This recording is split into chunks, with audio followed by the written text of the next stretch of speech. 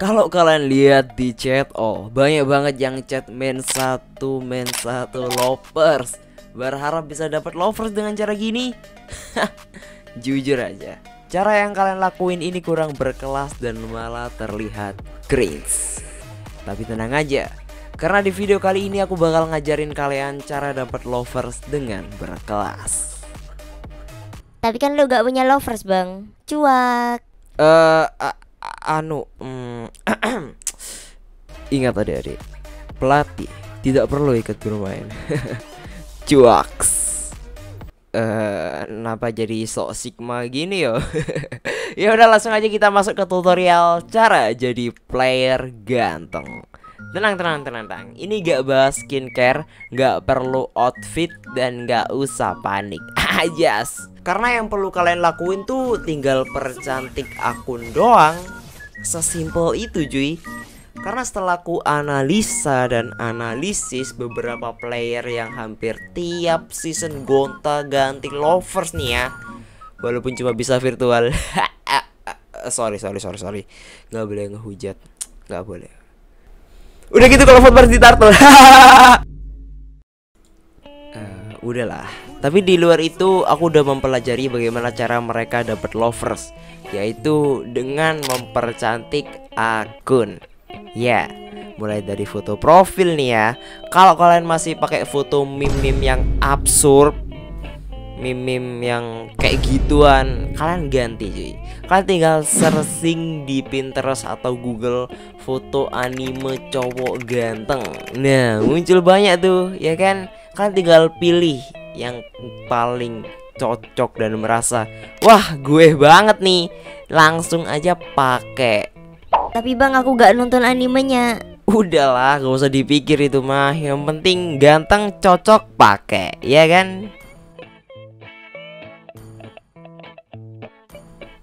Nah, gini kan cakep. Kalau foto profil udah diganti, lanjut ke nickname. Kalian jangan pernah pakai nickname game ngep-ngep. Aduh, mataku tuh sakit gitu liatnya boy. Apalagi calon-calon lovers kalian tuh. Jadi mending kalian cepet-cepet gantilah. Pakai nickname yang simple-simple aja. Tapi bang ganti nama kan butuh diamond Ya elah, CN tuh cuma 239 diamond. Masih kemahalan. Di bonus top up season, kalian bisa dapet CN cuma pakai 50 diamond. Apa? Pengen lebih murah lagi? Ya top up lah di Lapak Gaming. Karena Lapak Gaming adalah tempat top up game termurah dibandingkan tempat lain dan tentu saja kalau top up di sini pasti prosesnya cepat dan terpercaya. Oh ya, gak cuma Mobile Legend game apa aja bisa top up lewat sini cuy. Lihat betapa banyaknya pilihan game.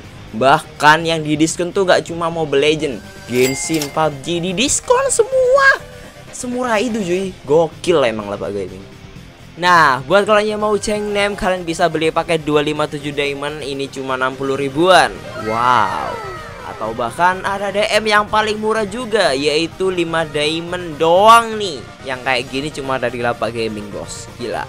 Dan yang paling penting, alat pembayarannya juga lengkap. Jadi tunggu apa lagi? Klik link di bawah karena Lapak Gaming murahnya beneran. Nah, kalau gini kan lebih kelihatan estetik, ya kan? Iyalah. Jangan lupa juga history match kalau bisa bagusin jangan sampai coklat apalagi AFK. Ntar gak bakal ada yang mau bersama kalian kalau gitu.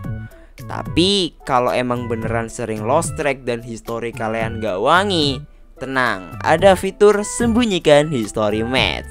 Cocok nih buat kalian. Tapi karena cowok sejati tidak pernah menyembunyikan history match, ya nggak aku pakai lah. Kita mah apa adanya aja ya kan. Oke, karena akunku udah estetik gak pakai lama, ini dia cara dapat lovers dengan cepat. Pertama-tama kalian harus buka chat all dan langsung cari target. Gak usah ngetik-ngetik main satu main satu. Hadeh, kelamaan mas bro. Ingat juga untuk mengamati akunnya terlebih dahulu. Kalian jangan gampang ketipu kalau nemu akun cewek. Wah, foto profilnya cantik nih. Tapi hero favoritnya Fanny. Waduh, bahaya itu. Hati-hati kalian ya. Setelah kalian ketemu mangsa yang udah terverified kalau itu beneran cewek Kayak si Via ini nih Udah pasti cewek lah ya Punya titel Nana cuy Ya kali cowok main Nana Mana ada coba Eh Kecuali Bang Winda ya. Oke deal. Nah di sini langsung ku chat Tapi jangan langsung diajak mabar dulu. Sabar. Kalian bikin dia bingung dulu dengan kasih pertanyaan. Kamu tahu nggak? Asik. Kita bakal mainin psikolog pe, pesi ah nggak tau lah. Intinya aku bakal bikin dia bingung. Oke dia udah jawab. Kalau udah gini saatnya membuat argumen palsu yang membuat emosinya naik turun aku tadi lihat cowokmu. Ha. Nggak punya cowok aku mah. Pas lewat depan cermin. Nah kan ketawa dia. Kita pun harus ikut ketawa juga. Tapi ingat Kalau ngetik jangan Jangan. Kalian itu kalau ketawa harus kelihatan cool gitu boy Oh iya pas kulihat di album profil Sivia ini Dia pasang foto kucing. Ku tanya lah Kamu suka kucing? Suka. Aku mau jadi kucing deh Biar bisa hidup 9 kali sama kamu.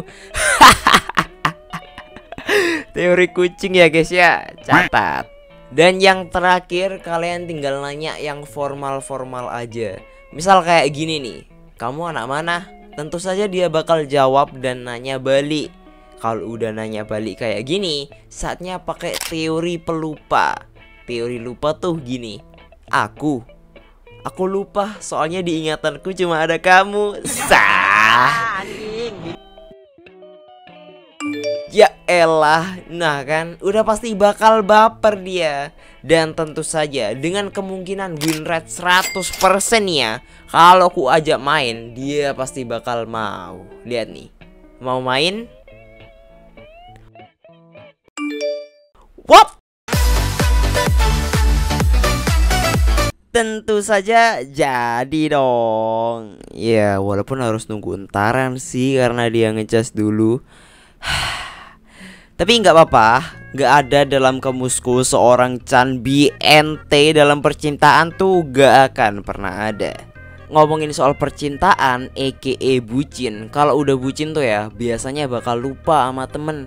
Kayak di sini nih, teman-temanku pada on, tapi sorry, aku gak bisa mabar sama kalian kawan. Karena ini demi AdSense, maksudku demi lovers baru. Aku harus dua bucin gitu biar makin mesra. Jujur guys, jujur banget nih Walaupun memalukan sebenarnya Tapi nggak apa-apa deh Aku jujur aja Aku grogi Entahlah kenapa aku kayak gini dan saking groginya. Di sini aku gak sadar salah beli item. Bukannya beli sepatu jungle, malah beli panah anjing. What? Bahkan gameplayku jadi agak aneh juga sampai sering mati konyol. Tapi ada yang lebih konyol dari aku ya si Karina ini nih di sini kan dia offset kita bunuh dong tapi setelah dia mati tiba-tiba dia bilang minta di lock lah kok gitu dan bener aja di sini dia mainnya jadi agresif banget masuk-masuk turret dengan brutal lihat tuh maksa banget mau ngekill si Via ya elah mau kelihatan keren malah jadi turu Ya udah, aku sebagai senior yang baik ku tunjukkan cara kelihatan keren di depan cewek. Di sini aku bilang jangan sentuh Valir. Tapi dia gak mau kalah. Dia juga bilang jangan sentuh Angela. Waduh, boleh juga nih. Mungkin ini saat yang tepat untuk adu skill karena adu bacot tanpa skill hanya terlihat seperti orang lemah. Yap, seperti yang kalian lihat, dia tiba-tiba muncul di dekatku dan adu mekanik pun gak bisa dihindari. Di sini aku sengaja ngasih jarak karena dia bukan Karina tank dan aku pun juga bukan lancet tank. Jadi resiko kita sama-sama cukup tinggi di sini. Oh, mau coba lari? Coba aja dulu.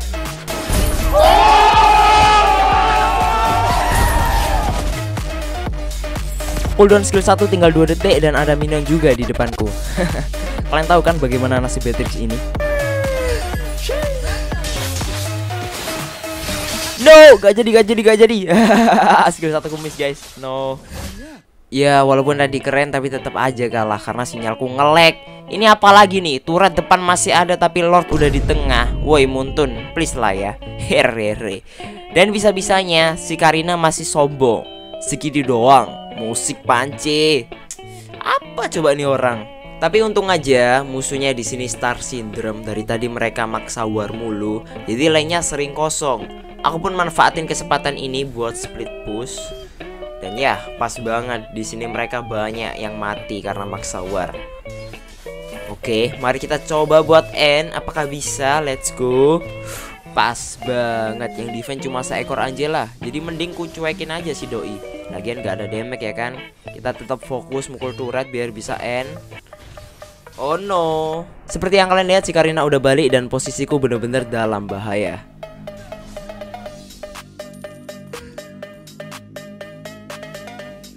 Dengan darah segini tentu saja Karina bakal nafsu ngejar aku Oleh karena itu aku harus fokus agar bisa ngehindarin skillnya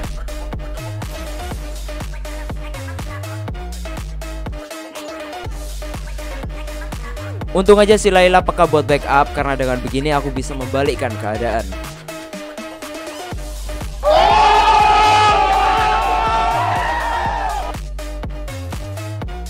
Tapi belum selesai segampang ini karena si Johnson dan Patrick udah kembali join tim fight dan di sini aku kembali dalam bahaya.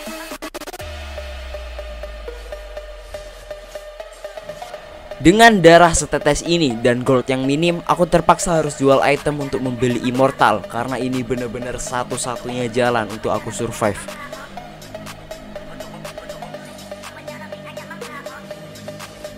Yaps, immortalku pecah dan pasti kalian bakal berpikir kalau udah gak ada cara lagi untuk selamat. Kata siapa? Oke, mari ku tunjukkan caraku untuk kabur. Jadi nanti saat Beatrix udah mendekat ke rumput, aku bakal pakai skill 1 2 kali. Lalu dengan cepat akan kugunakan skill 2 untuk ngedodge damage dari Beatrix. Dengan begini aku pasti akan selamat. Sesimpel itu cuy. Langsung aja kita praktekkan.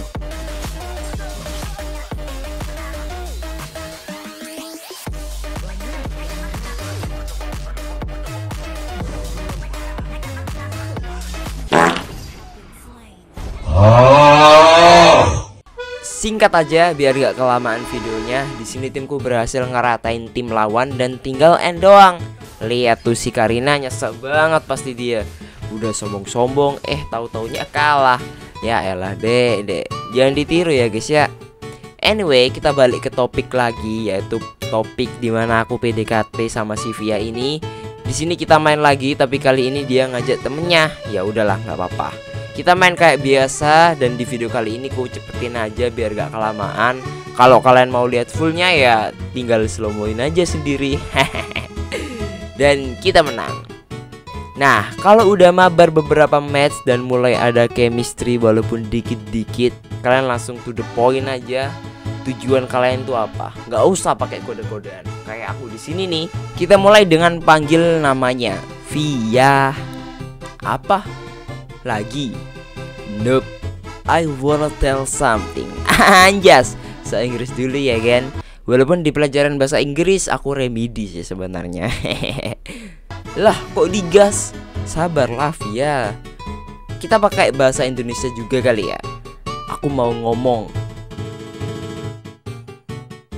GMN Apa? Dari typingnya nih Dia mulai sok cuek. Walaupun aslinya pasti lagi dag dig dig ya kan Pas banget. Kalau udah kayak gini kita langsung tembak aja. I have crush on you. Mau gak jadi loversku? Asik? Dia masih bingung aja loh. Kita bakal tegesin lagi kali ya? Jawab iya atau tidak Oke, ini mulai menegangkan. Tapi kalian gak usah panik karena aku udah profesional di bidang ini. Kemungkinanku ditolak tuh cuma 0,00000,0,1% Mari kita lihat kalau aku ditolak kalian boleh komen hashtag candi badut. Tapi kalau aku diterima kalian harus komen hashtag GG Candi. Oke deal ya? Deal. Karena dia gak jawab-jawab kita panggil dulu lagi namanya. Via Oke tarik nafas. Semoga jawabannya nggak mengecewa. What the hell? ente lagi ente lagi. Nggak apa-apa lah ya.